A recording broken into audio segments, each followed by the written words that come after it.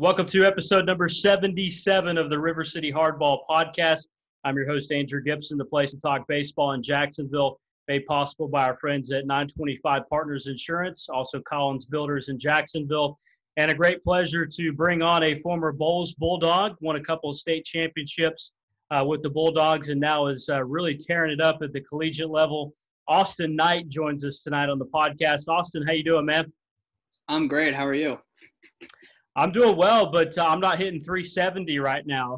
you are uh, really playing well for Charlotte. Tell, tell me about the season thus far. You guys are ranked in the top 25.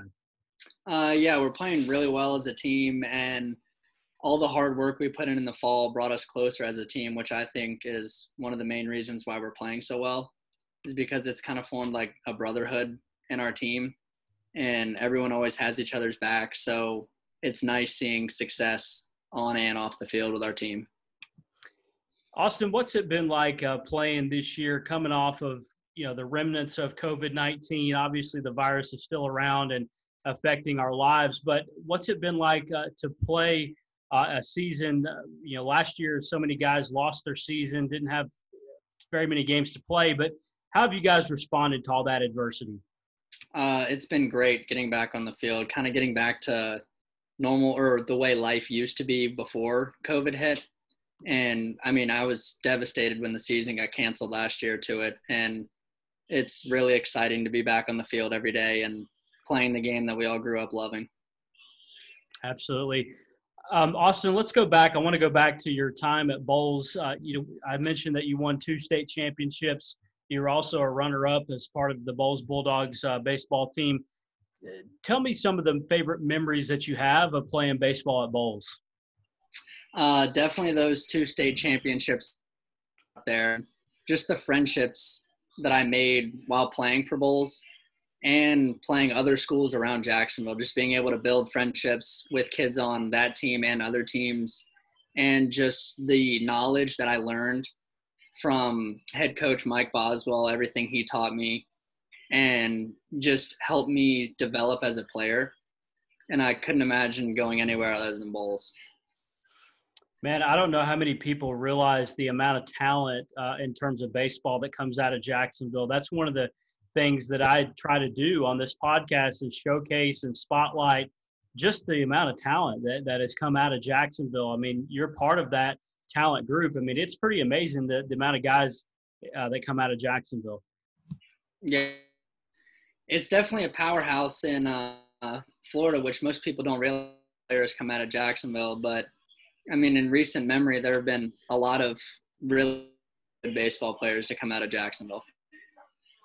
Well, and you think of uh, just the guys that came out of Bolles. Chipper Jones, as you know, came out of Bolles and went on to have a Hall of Fame career. Uh, Austin, who are maybe some of the guys that you follow professionally that you maybe model your game after? or Any favorite players in, at the big league level that you look at? Uh, well, during the off season, I hit with DJ Stewart, who is also a Bolles grad who plays uh, for the Orioles, mm-hmm. and he's taught me a lot about the mental side of the game and just hitting in general.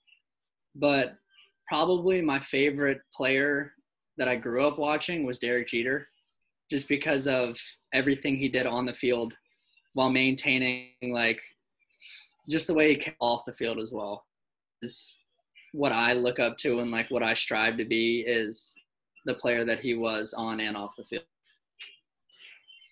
Yeah, DJ Stewart's a pretty good guy to talk to as well as you mentioned playing for the Orioles. How often do you talk to DJ?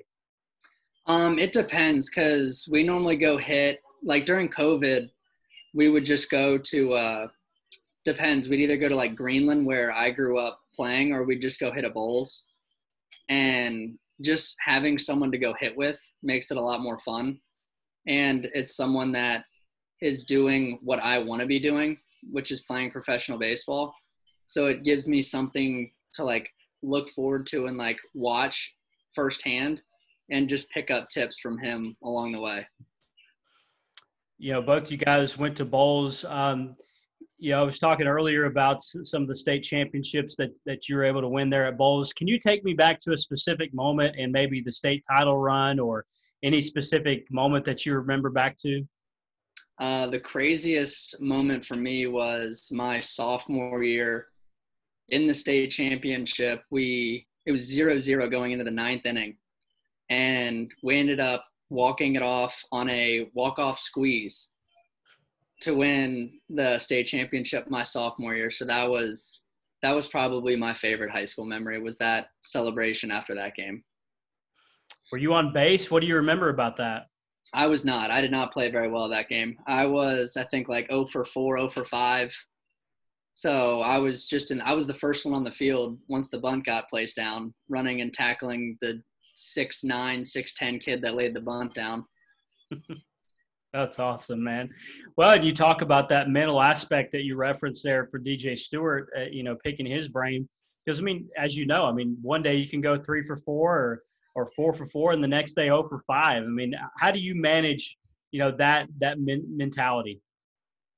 I mean, sometimes it's tough when you're going through a rough stretch, but for me, I like to analyze the game right after the game, whether it be good or bad and by the time i get home and i'm all showered and like finished with my day i try to completely switch my brain and look forward to the next game and prepare for the next game like the last one never happened.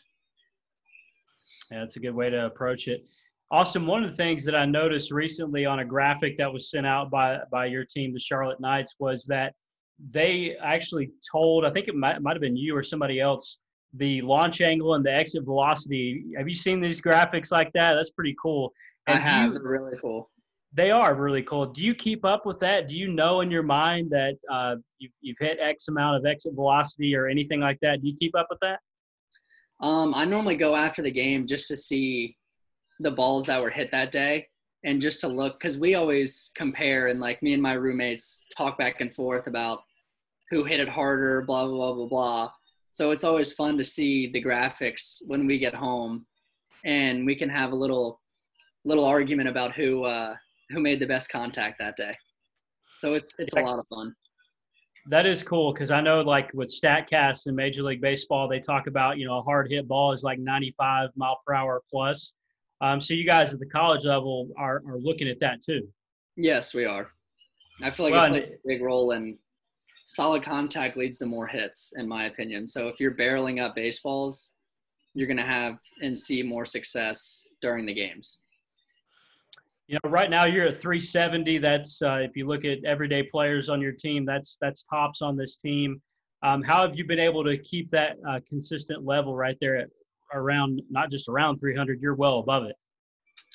Uh, just showing up to the field every day and trying to get better every single day, and keeping my approach and staying true to what I know I can do, as opposed to trying to do too much and hit home runs and just I just try to focus on staying in the middle of the field, which gives me the ability to pull the ball and go to the opposite field, which has been probably my strongest suit this season is the ability to hit it to all sides of the field, which is something I used to struggle with. And it actually got a lot better during COVID when the season got canceled and I got to go home and focus on driving baseballs everywhere.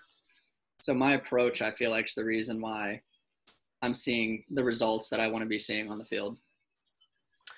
Austin, uh, you've roughed up my alma mater, App State. I think you had a two-homer game earlier on this year. Um, take me back to maybe some of your favorite performances of, of this year. That was one of them because I, I finished that game, I believe, three for five with two home runs and a double. And it was my first two home run game in college, so that was exciting. And it was my first ball that I hit out to dead center field. I think it went 419 feet, something around there, to dead center field. And I've had a couple uh, three double games, which I think is a record here. UNC Charlotte, maybe, to have a three double game, and I've had two of them this season is which I think is exciting because I love hitting doubles. That's awesome, man. It's hitting it pretty well. Uh, awesome. What's your transition from Tennessee to Charlotte been like? Um, it's been really enjoyable because at Tennessee, I enjoyed being there. I loved the guys, and the program was great, but I wasn't seeing the playing time that I wanted to be seeing. And that was the reason that I went into the transfer transfer portal. And UNC Charlotte gave me a chance and it it's great knowing that I made the right decision to come here and I picked the right school and I I couldn't be happier where I am now. That's awesome to, to hear about that success and it's showing up on the field too. That's that's the biggest part too. And Austin, recently you were named to the uh, Golden Spikes Award watch list. That's a very select group of of individuals. Uh, what does that feel like for you? Uh, it was a big honor. That I wasn't really expecting it. I didn't really. I wasn't going into the season saying I'm going to make this watch list, but it kind of proved to me that all my hard work is paying off and to stay the course with what I'm doing because I'm seeing success and I'm seeing the results. So it motivated me to work even harder and just try to keep doing what I'm doing to ultimately make me the best player I can possibly be. And that award is going to be named uh, in, in July sometime soon. Um, that's a list of 40 or so of the best players in college baseball. Uh, do you know anybody else that's on that list? Um, I haven't really gone through the list in detail, but my roommate last year, Liam Spence, is on the list as well, which was really cool. He was my roommate at Tennessee. He's the shortstop there, and I thought that was really cool. Very cool. Well, you guys are are playing well. I know Old Dominion's a very good team. Uh, you just came off of that series. That I mean, there's a, a team right there that's also in the top 25. Um, going forward, you, you, got a little bit left in this regular season. I mean, what's the key for for Charlotte to keep on playing well? Uh, we just need to stay and play our game. We can't get out of hand of what and trying to do too much and focusing on winning games. We just need to string together good at bats and have our pitchers pound the strike zone, and we'll see the results that we ultimately want to see. You guys right now are 31 and 14. You got a series coming up uh, with Marshall uh, that'll begin in just a few days on Friday. Tell me about that series against Marshall.